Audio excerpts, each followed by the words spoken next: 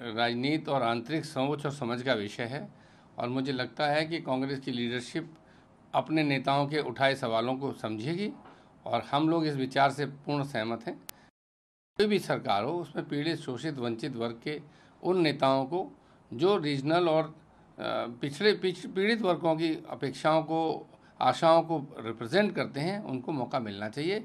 बाकी कांग्रेस का आंतरिक विषय है, वो निश्चित तौर पे इसको सुलझाने का काम करेंगे।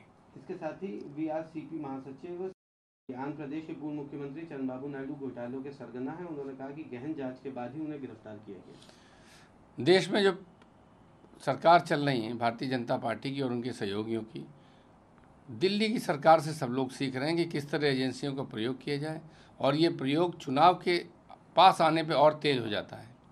इससे बाज आना चाहिए और एक ऐसी व्यवस्था बननी चाहिए जिससे कि राजनीतिक द्वेष भावना से हटकर एक निष्पक्ष भाव से जाँच हो सके। जिसने दुख अपराध किया, जिसने भ्रष्टाचार किया, उसको सजा हो, और जिसने नहीं किया है, उसको राजनीतिक कारणों से नहीं फंसाना चाहिए।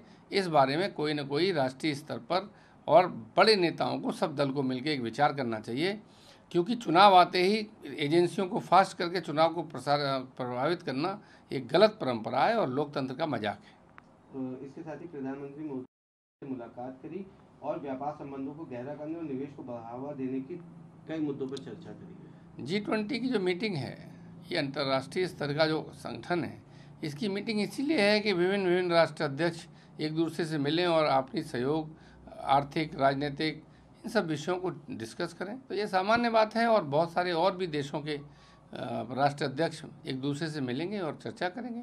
हम लोगों को भी, विपक्ष को भी इंतज़ार है कोई सकारात्मक निर्णय आता है अगर कोई ऐसा समझौता होता है जिससे देश की आर्थिक सामाजिक परिस्थितियों में कोई सकारात्मक बदलाव आएगा तो हम लोग उसके इंतज़ार में हैं और देखते हैं कि मुलाकात के बाद नतीजा क्या आता है।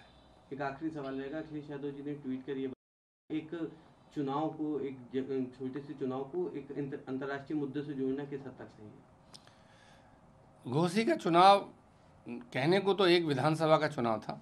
लेकिन उस चुनाव पे पूरे देश की नज़र थी। और जिस तरीके से घोसी के रिज़ल्ट को लेके पूरे देश में प्रतिक्रियाएँ आई हैं, चुनाव तो सात विधानसभा में हुए थे, लेकिन घोसी को लेके पूरे देश के राजनीतिक दलों ने प्रतिक्रिया की है, क्योंकि ये टेस्ट केस था। कई हमारे सहयोगी छोड़ के चले गए थे, कई जोड़ तोड़ करके भारतीय जनता पार्टी ने बनाए थे। इंडिया अलायंस जो था, उसका उत्तर प्रदेश जैसे बड़े राज्य में पहला टेस्ट था। तो उस लिहाज से बहुत सारे लोग इससे राष्ट्रीय स्तर पर संदेश ले रहे हैं, क्योंकि आने वाले समय में लोकसभा का चुनाव होना है और बहुत लोगों, सारे लोगों की ये नज़र है कि अगर इंडिया अलायंस यहाँ अच्छा करता है तो इससे देश की राजनीति में आने वाले समय में दिल्ली में बदलाव का रास्ता उत्तर प्रदेश से जाता है।